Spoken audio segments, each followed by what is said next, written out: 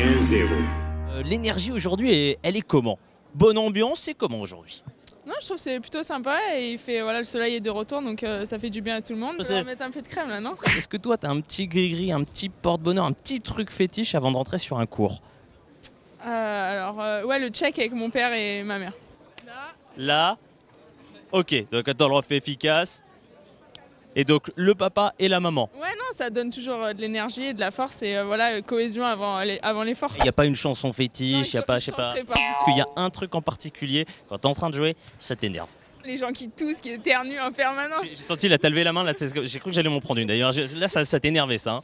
Non mais c'est vrai qu'en plus à cette période, je sais pas, il y a des allergies, j'en sais rien. J'ai l'impression que les gens ils toussent en permanence. Oui, non, mais moi, je te confirme, parce que moi, je suis. Non, mais c'est le pollen. Euh, du coup, est-ce que je peux te demander euh, de me chanter une petite chanson hein, pour la... Si euh, là, il y a un truc que tu me feras jamais faire, c'est ça. Petit pronostic, forcément, euh, pour la finale. Je dirais Serena. Et chez les hommes,